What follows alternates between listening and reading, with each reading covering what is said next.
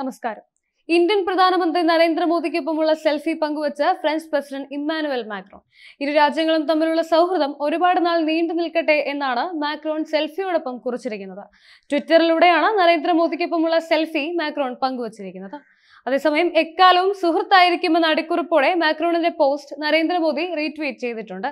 രണ്ട് ദിവസത്തെ ഔദ്യോഗിക സന്ദർശനത്തിനായി ഫ്രാൻസിലെത്തിയ നരേന്ദ്രമോദിക്ക് വമ്പൻ സ്വീകരണമാണ് ഫ്രാൻസ് ഒരുക്കിയത്. ഫ്രഞ്ച് പ്രധാനമന്ത്രി എലിസബത്ത് ബോൺ വിമാനത്താവളത്തിലെത്തിയാണ് നരേന്ദ്രമോദിയെ സ്വീകരിച്ചത്.